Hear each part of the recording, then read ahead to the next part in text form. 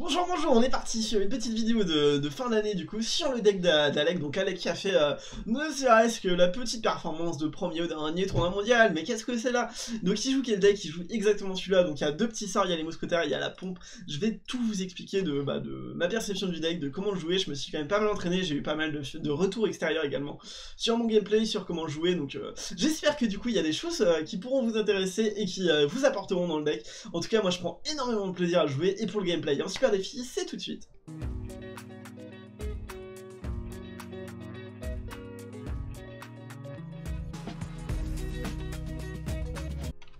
Bonjour, on est parti donc pour un petit peu de super défi avec le deck donc euh, de Alec premier au dernier tournoi, euh, que demander de plus, que demande le peuple, que demande le peuple, je ne sais pas, c'est un deck qui marche très bien, c'est un, deck très dur à jouer pour moi, qui a un vraiment beau skill cap, parce qu'il faut vraiment bien gérer les fûts, les golems, les prises d'aggro, les battle rams, il faut vraiment bien comprendre les mécaniques du deck.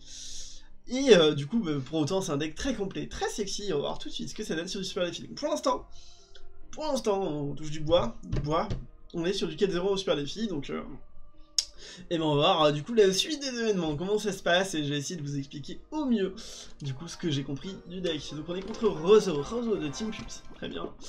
Alors nous on a quoi? On a de la voleuse, on a du golem de glace, on a quoi engager la partie, donc euh, ça c'est cool, hein, ça c'est chouette. Euh, on va commencer par une petite voleuse, voilà. On est prêt à barrel s'il met un truc à gauche, à droite. Pour l'instant, il met rien de particulier. Ok, une voleuse. Il va défendre la voleuse chez lui. Normalement, notre voleuse aura quand même le temps d'aller euh, là-bas. Euh, pardon, le golem de glace. Donc voilà, c'est le golem de glace qui a l'interrompre. Il met un bâtiment. Donc on va directement mettre euh, une pompe. Si nous boule de feu ça, on part direct en ordre. ok, ah what? What? What? Il y a une princesse ici Ça nous arrange vraiment pas qu'il y ait une princesse ici. En vrai En vrai, en vrai mon frère ça nous arrange vraiment pas.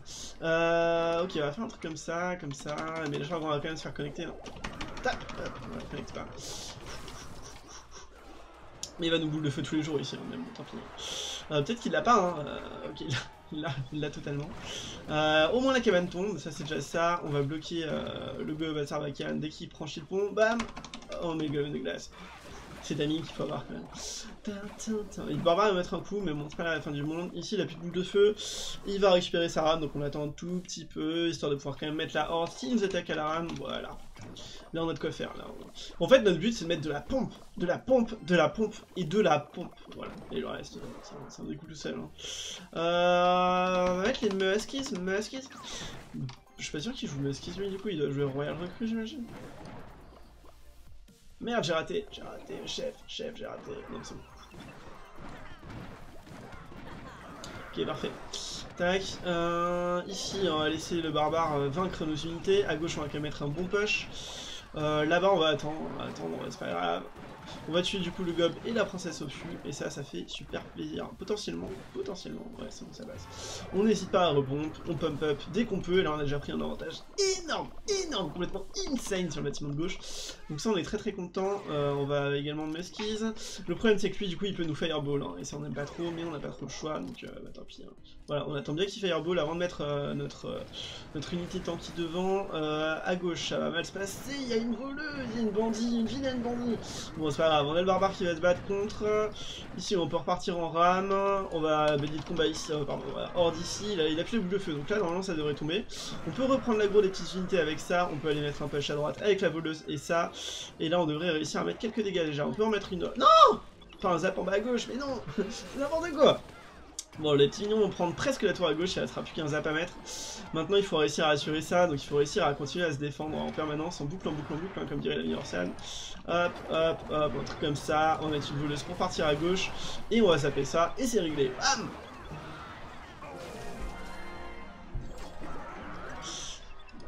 Ok, pas mal, pas mal, pas mal du tout. Et on est reparti, hein. on est reparti dans la J'aime bien ce genre de match, j'aime bien, euh, c'est pas évident, c'est dur. Et du coup, c'est d'autant plus kiffant. Euh, euh les match-up 3M Hut et donc qui joue Fireball, hein, et comme là, Hut qui joue Fireball aussi, c'est vraiment pas les match-up simples.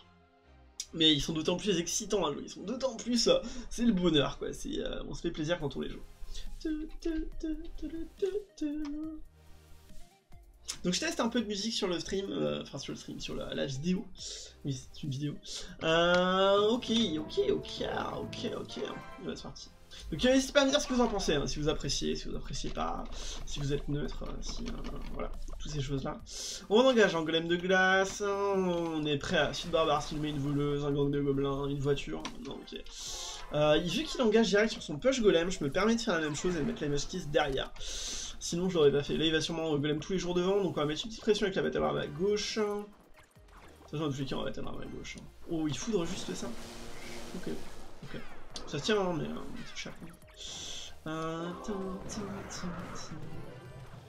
Ok, donc il joue un golem avec euh, foudre et les petits gobelins à dague. Donc il joue la version foudre. Donc sûrement plus de flèches, et ça c'est pas cool pour nous. Parce que plus de flèches c'est un tueur de hors de minions. Vous le savez, vous le savez.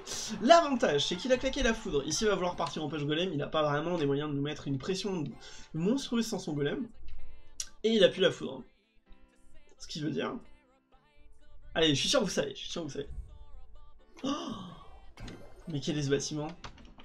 Ah, il joue, il joue ça aussi Ah, on est pas bien, il joue foudre et pompe. Oh, oh dur, oh dur, mais non, mais non, c'est quoi ce match-up? Mais non, qu'est-ce qu'on a fait pour hériter ça? Est-ce qu'on a été, été des mauvaises personnes cette année? Que, comment ça se passe? Ah, Par contre, là, c'est, euh, j'aurais dû mettre les trois sur la même lane. Erreur, erreur. Ah, je mettais les trois sur la même lane, il était pas bien. Là. Tant pis. Je crois qu'on s'en fiche, on va balayer de combat ici. Hein. Enfin, je veux dire, on s'en fiche, hein. sais pas forcément, mais... Euh, oui, une idée quoi. Bam Hop Allez, Bédragon, tu tombes, tu tombes, mon Bédragon. Voilà, parfait, les gobelins ils vont vraiment pas nous embêter. On va refuser la barbare ici, au cas où, euh, au cas où ça suffise. Oh là là là là Oh la tour C'est la tour qui tombe C'est la tour qui tombe Les, les masquis, elles se font plaisir, évidemment, ce sont des mousquetaires. Bon, il a une pompe, hein, faut quand même faire attention, mais... Euh, on va repompe au cas où il va y claquer sa foot tout de suite, si jamais.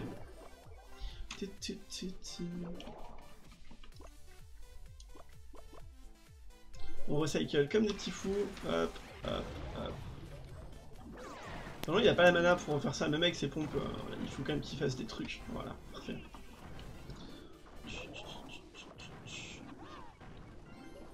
Ok. Ça nous va. On achète. On achète son agression. Ok. On va faire un truc comme ça, comme ça, comme ça. Oh, elle, elle est intéressante à les sniper aussi. Bon, on va, voir comment se. Sûrement la repoule à gauche quand même avec tout le reste, parce que de toute façon nous on a déjà mis les minions, donc euh, après tout, pourquoi pas. Hein. On remet des masquis, il a claqué la foudre. Bien joué à toi mon ami, bien joué à toi. Bon bah voilà ça, passe. Malgré que ce soit un golem foudre et que ce soit un peu relou golem dans, dans ce genre de deck, au final, on a, rien, on a réussi à bien, euh, bien défendre du coup tout son push, toutes les unités qu'il y avait derrière. Et ça passe. Et on est reparti tout de suite. On est contre 120 journées de, de, Ice and Fire, le feu et la glace évidemment. A Song of Ice and Fire.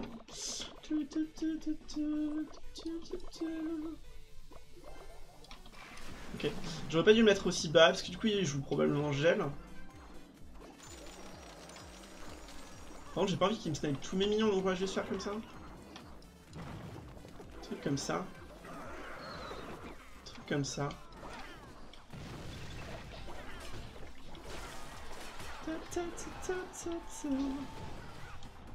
Ok.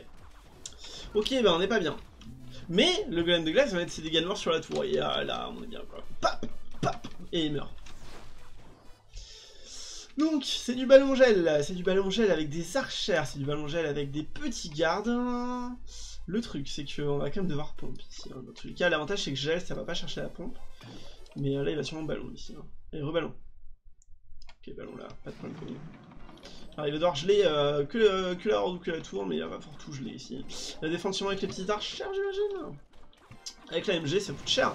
C'est du 8 pour 5, mon ami. 8 pour 5, est-ce que tu trouves ça rentable hein euh, Je recycle juste ça euh, pour le plaisir, mais... Euh, j'ai pas envie de def plus que ça sur l'attaque en fait, donc voilà. Donc je le fais pas, voilà, si j'ai pas envie, après tout, qui serait-on pour me forcer à le faire Mettons un bélier de combat. Parce que pourquoi pas, hein, pareil. Si on le peut, on le veut. Si on le veut, on peut. Euh, ok, donc on va mettre les muskies qui vont aller un peu sniper tout ça, dire bonjour, euh, bonjour à nos amis les, les, troupes, hein, camarades des troupes. Il va sûrement des à d'autre côté, donc on va tuer Barbare ici, on prépare le zap, on va zapper ça, hop, hop, salut. On tue quand même la MG, on va redéfendre avec la muskie, la voleuse en plus. Ah non, non, non, j'ai raté Merde Bon, c'est pas grave. Donc quelqu'un a une de glace en plus, le problème c'est qu'il va nous mettre un ballon ici sûrement. Allez, ballon Ballon Mon ami, t'as envie de ballon là Ok, il ballon pas. Il a pas envie de ballon, il ballon pas. Peut-on vraiment le forcer à faire ça Allez, gel, voilà, parfait. Normalement, il met qu'un shot. Enfin, que un, c'est beaucoup, hein, mais euh, il en met un quand même. il met un shot, voilà, c'est ça que je voulais dire. Alors, on est parti, on repart à l'attaque. Euh, deux du côté de là, ça me paraît bien. On mettre une voleuse par là. Hop, hop, hop, hop.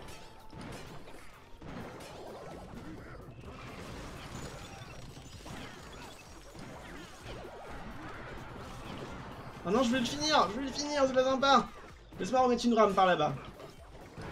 Si nous ballons, on est pas bien. Hein. Bon, on va récupérer le zap plus vite que lui, et puis voilà. Pourquoi, pourquoi s'embêter quand on peut zapper Voilà, hop. Après tout, après tout, pourquoi Pourquoi s'embêter tout je, je, demande. Donc, euh, c'est le deck 3 mousquetaires, le deck 3 mousquetaires. Euh, alors, comment il fonctionne le deck 3 mousquetaires? Je vais vous prendre un replay que j'ai fait euh, pour vous expliquer un petit peu plus en détail, en regardant le replay, parce que sinon quand je joue, j'ai vu que c'était compliqué quand même. Je prendrais bien une game par exemple contre l'ami Moro, mais sinon il y avait d'autres games qui étaient assez sexy. Genre, celle-là, elle était pas trop mal. C'est parti. Alors c'est pas, pas meilleur partie, mais euh, le match-up euh, est, pour l'adversaire, donc c'est ça qui est assez sexy à regarder. C'est que du coup le match-up est, pas pour nous. Donc ici c'est important de jouer avec ses cartes. Hein. Si vous jouez pas avec vos cartes, vous perdez en, acuité. Oui, en acuité, exact. Bon. Là, voilà, première chose, l'adversaire il pose la baraque haute. Pourquoi il la pose haute? Il la pose haute parce que bah, potentiellement je joue du Battle Ram, je joue des trucs comme ça. Euh, donc en fait il a envie d'attirer les agros. S'il y a une unité à tanker qui vise les bâtiments, obligé, que ce soit à gauche ou à droite, elle ira là-dessus. Ok. Sûrement la raison pour laquelle il l'a fait. La deuxième raison pour laquelle il l'a fait, c'est sûrement qu'il se dit j'ai la machine volante, j'ai le fui à j'ai la boucle de feu, j'ai quand même trois moyens de répondre par rapport à ce que l'adversaire va faire. Ça devrait bien se passer. Nous on voit ça, on se dit quoi? On se dit à l'inverse, on se dit, probablement c'est du 3 mousquetaires, on n'est pas sûr, ça peut être du Royal Recru, Gobelin Tarkan, mais souvent c'est du 3 mousquetaires. Bon, on se dit dans tous les cas, la cabane est haute, euh, nous, ce qu'on a envie de faire, c'est mettre une grosse pression d'entrée de jeu. L'avantage de mettre une pression d'entrée de jeu, en fait d'utiliser même les 3 mousquetaires d'entrée de jeu, c'est que l'adversaire, il est obligé d'y répondre. Ici, il a un très bon moyen d'y répondre, c'est la boule de feu. La boule de feu, ça va faire très mal à l'unité, elles vont presque mourir. Ok, on est content, il a une réponse, mais cependant, le temps qu'il la fasse, on aura déjà potentiellement déjà mis des shots, et en plus, les mousquetaires, elles seront encore en vie, donc il faut quand même qu'il les gère. Et surtout, si on arrive à claquer une boule de feu en face, on a une pompe gratuite. Et c'est ça qu'on veut, c'est ça qu'on kiffe, et c'est ça euh, qu'on recherche à ici. Donc on laisse la partie se dérouler, on a la petite bandit qui va aller tuer euh, du barbare, on met direct les mousquetaires, dès qu'il a pris gros, bam, vous avez vu deux shots déjà sur la cabane. Ensuite elle va se repositionner, elle va mettre des shots à partir du pont, la cabane va tomber, et du coup ça va claquer la boule de feu en face. Et nous c'est tout ce qu'on voulait, c'est claquer la boule de feu en face. Là il met sa voleuse, donc euh, bah, on, sait qu'on est obligé d'y répondre. Donc on met dessus à barbare, on le met un tout petit peu tard de rappel, du coup elle va quand même dasher sur le fil à barbare, mais dans tous les cas, il aurait pas pu atteindre la tour. Donc c'est pas très grave, ici on a 5 ressources, l'adversaire aussi. Il décide de partir direct en Battle Ram. C'est une erreur. C'est une erreur, pourquoi? Pour la simple et bonne raison. Euh, il a plus la boule de feu, on est d'accord? Il l'a claqué juste avant. Donc elle va revenir, mais il va devoir recycler pour récupérer sa boule de feu. peu importe, mais il va devoir quand recycler. Et du coup, sa Battle Ram, elle meurt pour rien. Donc il perd un peu 4 ressources, et derrière, il va être obligé de la gérer. Donc potentiellement, s'il remet une boule de feu, ça lui coûte 8.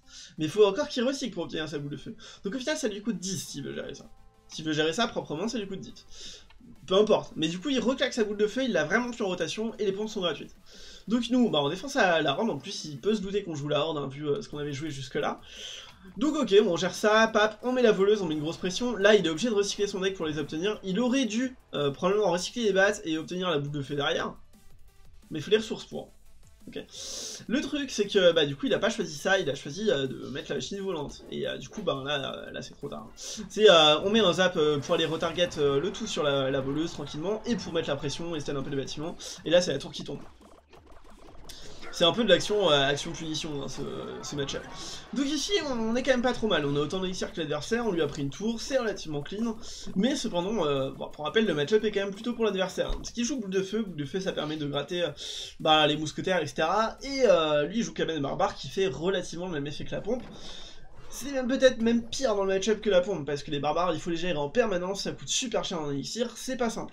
Vous, ce match-up, vous devez claquer les boules de feu en face sur autre chose que sur les pompes idéalement, et réussir à générer de la valeur de avec les pompes, et spammer les mousquetaires en boucle au milieu du terrain, trop haute pour être snipé également par la boule de feu et toucher les bâtiments, et vous devez un peu répéter cette interaction en boucle. Ici, je rajoute une voleuse, je savais que c'était une erreur. Ici, j'avais juste besoin de défendre au golem de glace, j'ai pas besoin de mettre d'autres choses, et le golem de glace, idéalement, faut le mettre avant qu'il meure sur le bâtiment. Du coup, le fait de rajouter la voleuse, je l'ai pas de l'autre côté. Donc ça, c'est une énorme erreur qui va être directement sanctionnée par mon adversaire.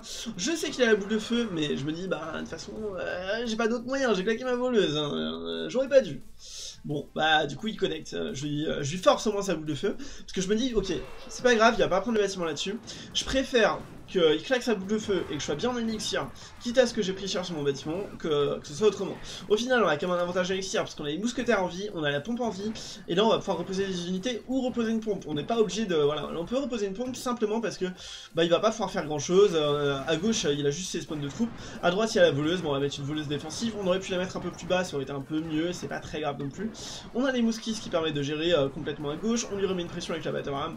Il est obligé de reclaquer la boule de feu, du coup, potentiellement on peut euh, soit repartir en muskies milieu, comme on décide de le faire là, soit on remet, euh, on remet la horde, ici on peut remettre un fût à barbare qui va gratter tout le monde, voilà la faille monstrueuse, insane du fût à barbare il reste plus que 20 secondes, mais nous on a plein de ressources ici, on a des pompes, on a, on a tout pour faire plaisir, on se décide même de repompe parce qu'on se dit au pire s'il nous prend une tour, mais alors là on a avantage d'élixir, on, va, on, se met, euh, on se met quadruplement bien. Vous avez vu là, il est obligé de claquer la, boule de feu pour regratter le bâtiment, mais on a deux pompes full sur le bâtiment, deux pompes full sur le bâtiment, plus un de ressources par rapport à lui en avantage. On est extrêmement bien ici, il peut plus rien faire, il a plus sa boule de feu non plus, donc là, c'est du free DPS, c'est du free légal, on peut rezapper.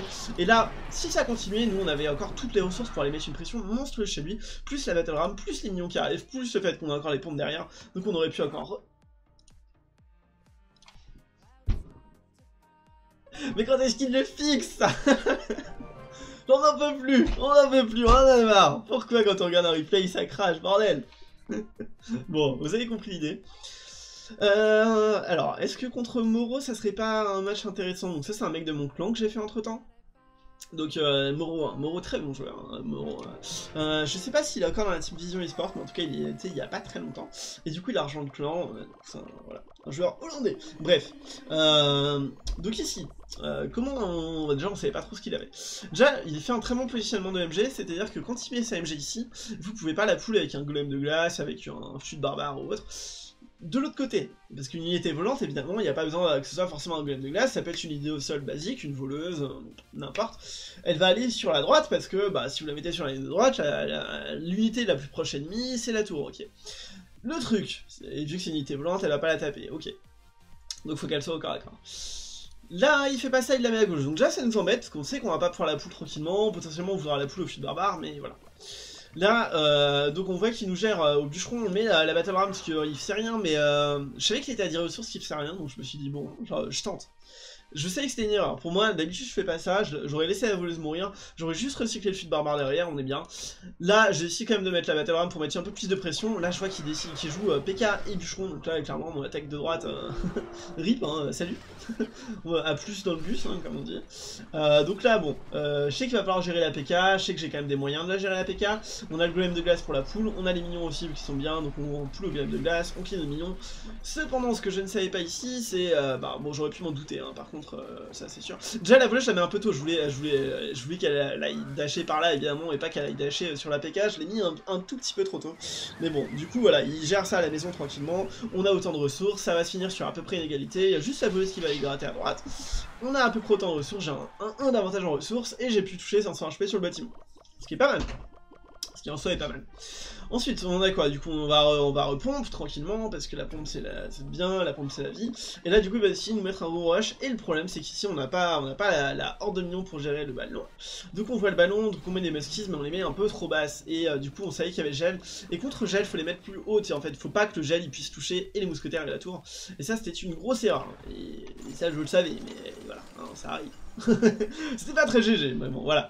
Euh, bref, on, on, quand même l'AMG au golem de glace, parce que le golem de glace c'est bien. On sait qu'il va quand même devoir claquer un peu d'élixir pour défendre le prochain push. Potentiellement, il va mettre une PK, un bûcheron, des trucs comme ça. On sait qu'il a, des réponses, en tout cas s'il le veut. Là, on, pourrait très bien en mettre une voilà, on va remettre une voleuse, mais on aurait pu la mettre un peu plus basse. Vous avez vu le bûcheron, du coup, il a presque pris la go dessus. Je m'attendais à ce que ça fasse ça, ça l'a pas fait. C'était un peu la tristesse. Mais bon, voilà, du coup on a pris cher sur notre bâtiment, mais on a quand même un peu la pompe qui a encore en vie, et on a des bâtiments en face qui sont à 700 et 1500 HP. Donc au final, on n'est pas si bien, mais on n'est pas trop mal. Ici, on décide de pas gérer la MG, parce que c'est trois ressources et qu'on n'a pas envie de claquer deux là-dessus, et que bah, le bâtiment, enfin, ça va pas jouer là-dessus. On met la horde, mais pareil, on la met un petit peu basse, faut vraiment la mettre instant au niveau du pont quand il met le ballon. Euh, bah, comme quand on a fait la partie tout à l'heure, c'était très bien ça. Et là, du coup, il en profite pour zapper en plus, donc euh, bah, évidemment, il n'y a plus de horde, ça va tuer la pompe, et là on se dit, ah non, on est triste, et en plus, on met des muskis derrière, il faut pas les mettre derrière, il faut les mettre devant, sinon ça se prend l'explosion du ballon. C'est pas très grave que ça se prenne l'explosion du ballon, parce que c'est pas un deck sur lequel ça va vraiment changer quelque chose en face. Mais toujours est-il qu'il vaut mieux ne pas le faire. donc voilà, c'est pas grave, on repart en full push à droite, euh, son bûcheron il nous fait super mal, il arrive à nous tuer les unités, est triste. Cependant, il va falloir qu'il gère quand même tout ça chez lui. Il décide de mettre le gel, mais du coup, il le fait pas en le dash de la voleuse. Et la voleuse peut continuer à taper, mais même s'il n'avait pas fait ça, et derrière, il aurait pris super cher. À partir du moment où je suis un bâtiment, on en profite directement, on reprend l'aggro de la tour, parce que du coup, on sait qu'on peut, euh, on peut aller mettre de la pression comme ça, et il a rien pour y répondre ici. Il est obligé de remettre son bûcheron, sauf qu'on a le golem de glace extérieur devant. Si ça connecte, on sait qu'on est bien. Là, il reste plus qu'à 134 sur son bâtiment. On sait qu'on a la voleuse, on peut zapper, donc on va zapper, bam, bam, bam. Vous avez vu le bâtiment là-bas, il est plus qu'à 1600, on est encore à 9 ressources, on a deux pompes sur le terrain. Donc là on rebloque pour le plaisir, mais euh, dans tous les cas, voilà, on était bien, il y avait plus que 900 HP en face, on a les deux pompes, euh, il y a deux tours qui sont tombées, lui il y a encore 2000 HP à faire tomber sur la dernière tour, c'est vraiment super compliqué, et c'est un deck, euh, un deck pour moi qu'il faut, il faut un peu le jouer comme ça. donc voilà, dans l'idée, dans l'idée c'est ça, dans l'idée, c'est vraiment ça. Vous faites du, bait boule de feu, ok, vous êtes content, vous baité la boule de feu, vous mettez les pompes et vous gérez un maximum de valeur sur le terrain. À partir de là, vous, savez, euh, votre DPS qui sont les mousquetaires, il faut à tout prix les protéger. Les protéger, c'est pas juste mettre des troupes devant, c'est aussi jouer sur le kiting. Jouer sur le fait que euh, vous allez attirer les unités ennemies exactement là où vous voulez. Le à barbare, vous pouvez le positionner plus loin que l'endroit où vous le mettez. Ça, ils jettent quoi. Et du coup, euh, vous pouvez faire retourner les unités adverses, vous pouvez leur faire faire demi-tour, ce qui génère encore beaucoup plus de temps aux mousquetaires de taper. La Battle Ram, elle a énormément de boucliers quand elle est en vie, il y a encore les barbares derrière, donc il faut vraiment en user et en abuser. Et dès que vous pouvez, vous posez des pompes et vous reposez les mousquetaires en boucle. Vous faites super attention à ce que l'adversaire ne puisse pas gratter vos bâtiments quand vous posez les mousquetaires si euh, il a du poison ou des boucles de feu souvent ça peut être votre, euh, votre fin. Parce que votre tour, elle vous sert à, prendre quelques dégâts le temps que vous ayez assez d'élixir avec les pompes. Rarement vous finirez une partie vos tours vierges. Souvent elles vont vous, euh, vous encaisser des dégâts sur les tours pour vous donner du temps pour mettre les pompes. Ok, vous êtes content. Cependant, du coup, si vous faites gratter les mousquetaires, en plus, à chaque fois qu'il y a une boule de feu sur votre bâtiment, du coup, vous perdez à, tout, euh, petit à petit 200, 200, 200 HP, vous perdez votre tour, vous perdez le tempo sur le game, et vous pouvez perdre. Alors que si vous les mettez suffisamment hautes, et que vous n'hésitez pas à cycler les tanks en derrière, derrière, donc par exemple, vous mettez un petit golem de glace un peu plus devant, une battle ram derrière, une autre voleuse à gauche, et ensuite seulement vous mettez vos mousquetaires, bah du coup, vous avez un vrai push, vous avez des bonnes unités, et en plus, il est incapable de vous les AOE et de toucher un autre bâtiment. Bref, c'est plein de petits trucs comme ça, je referai d'autres vidéos sur ce deck si ça vous fait plaisir. Moi, c'est un deck sur lequel je m'entraîne euh, beaucoup en ce moment, donc euh, je prends énormément de plaisir à jouer. Euh, je m'entraîne aussi beaucoup sur le genre de match-up, hein. les match-up golem, les match-up golem ils sont vraiment pas évidents, donc n'hésitez pas hein, si vous voulez que ben, je vous montre des vidéos contre golem ou genre de trucs. Bah, C'était avec plaisir. je vous souhaite une excellente journée et une excellente nouvelle année du coup parce que du coup la vidéo arrive juste avant la nouvelle année. Donc euh, bon, voilà. J'espère que vous avez pu euh, en profiter, que vous avez également des projets ou des trucs comme ça en 2019. N'hésitez pas, du coup, si vous voulez en parler également, ça me fera super plaisir dans les commentaires. Je vous souhaite une excellente journée.